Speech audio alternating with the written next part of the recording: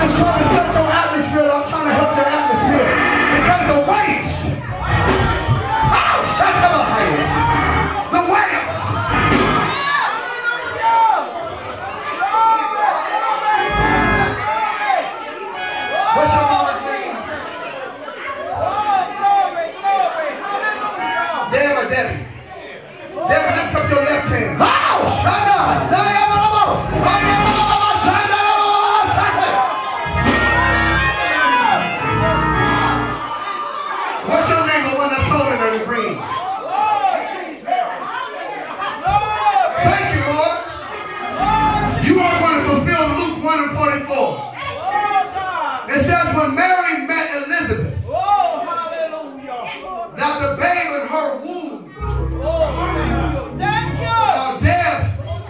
The baby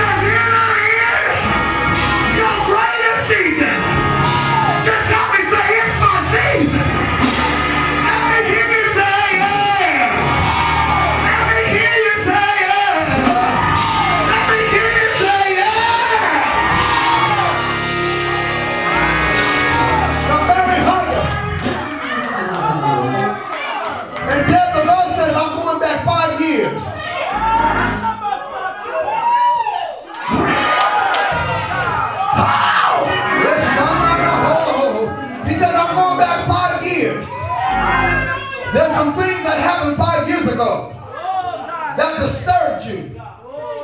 It disturbed your spirit. He said it even almost caused you not to even um, uh, deal with the church. And the spirit of suicide was your best friend. Y'all, y'all not moving quick enough. You need, you need help. Stand her back up. Stand up.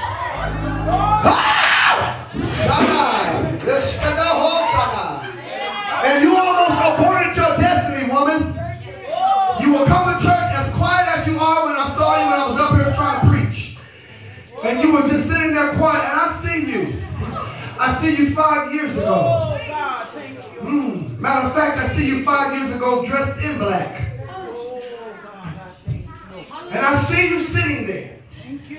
And the enemy was contemplating and speaking in your right ear.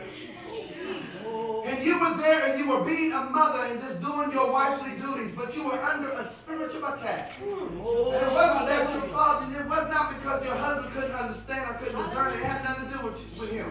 He even had nothing to do with your children. But you've been wrestling with you. But I got good news for you. After tonight, Hallelujah. Thank you. I smell your aroma. I smell the aroma of change over your life. Thank you. Mary, for just doing what you just. Ah! Shandela Hoshna. Lift up your left hand. And Mary, you grip her right hand like you was before. Mary, take your right hand and grip her right hand, honey. That's you take your right hand and grip her right hand. Don, you take your anointed healing hand and you put on her stomach. Because what has been in her for the last five years has been there, but it has no life. It's been buried. Thank you, Jesus. But God says, I'm going to do. You. You are the type of woman you like to have laughter, but you are now going to be Sarah tonight. Oh, The Bible says that Mary, that Sarah was dead in her womb. She was dead in her womb for over 70 years. Abraham was 100, she was 95. Bible says that now that when the angels of the Lord, the representatives of God came to Abraham, and they told Abraham, they said, in due season we shall come again. And you shall have a child. Now, I'm not trying to say you're going to have another child. That's not what I'm saying. I'm talking Come about on. your birthing of what God would have for you to do. Come on.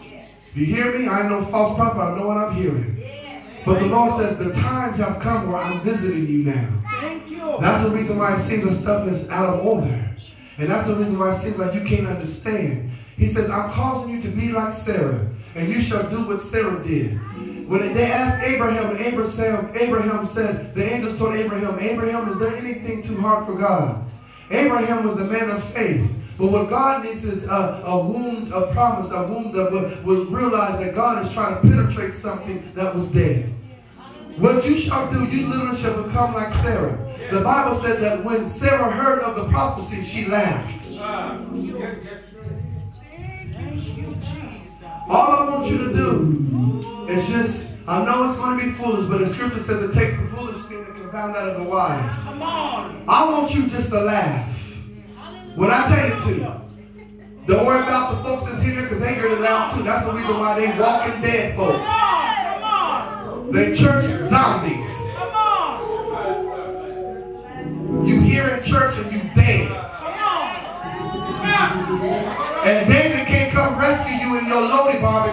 Don't know who you are.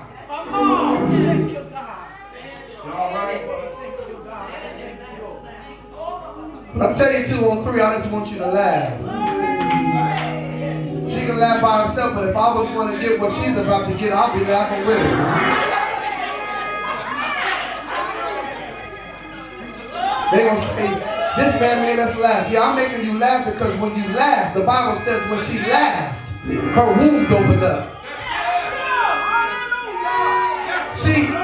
What has been dead, your ignorance has been dead when you laugh. God says, I'm going to open it up. What has been dead in your life that you've been asking God to do when you laugh?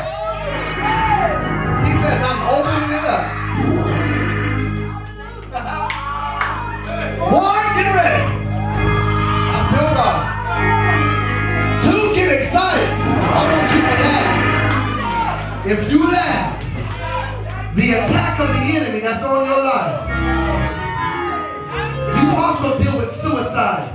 And you also deal with what people are trying to validate and define you. But that season of your life is over. Don't you worry about your past. Don't you worry about the unknown. Don't worry about what you want to know and you can't find out. Don't you even worry about the ones who don't understand you.